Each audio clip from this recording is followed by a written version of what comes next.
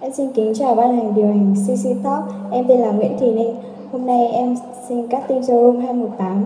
Sau đây em xin hát bài Duyên Phận.